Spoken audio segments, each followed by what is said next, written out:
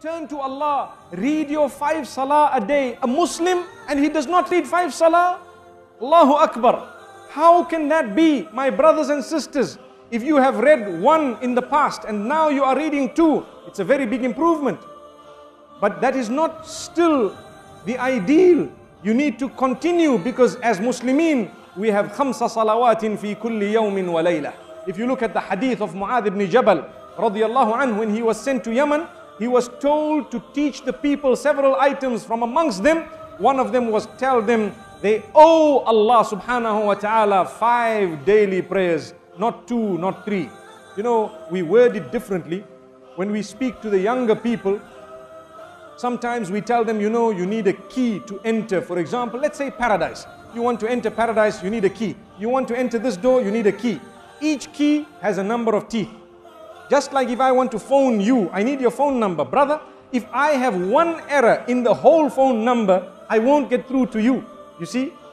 So if I would like paradise, I need to read five salah on a daily basis. That is the figure. That's the number of teeth on the key. If you have one tooth missing, what happens? Try it. Take your key and break out one tooth. Put it in. It won't open your door. But there are so many other teeth. One is missing.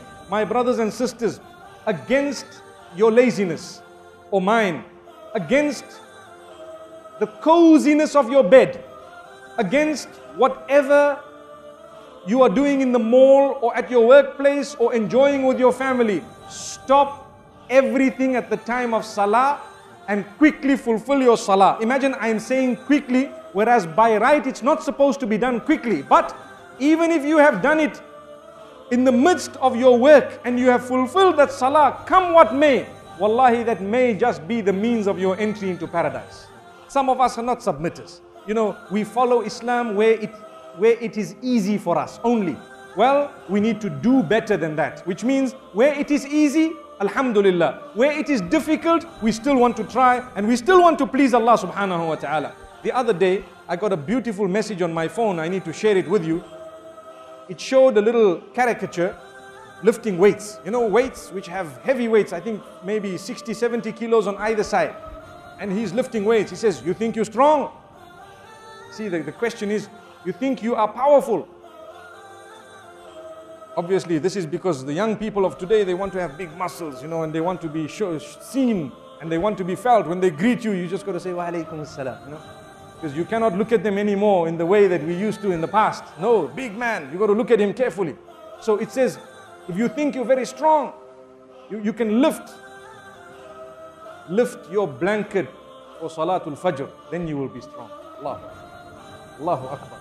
You're strong, you want to lift, lift your blanket at Salatul Fajr. That is the heavyweight title. Allahu Akbar. Brothers and sisters, I thought it was a very good message. Because today, the message of the deen needs to be put forth to our children and ourselves in a way that we look at it and we really think, Wallahi, it is correct. The powerful person is, the not, is not the one who can lift 120 kilos with one hand and with his little finger. Subhanallah, no, it isn't. A powerful person is the one who can lift his blanket up for Salatul Fajr and for Tahajjud. تتجافى جنوبهم عن المضاجع يدعون ربهم خوفا وطمعا الله أكبر In Surah Sajda, Allah says, speaks about these powerful believers. And Allah says, they are the ones whose sides refuse to actually lay down on those beds. They move themselves off the bed, the beddings, in order to stand up in prayer for the Almighty at night, praying to Allah subhanahu wa ta'ala, fearing Him and having hope in His mercy. May Allah subhanahu wa ta'ala grant that to us.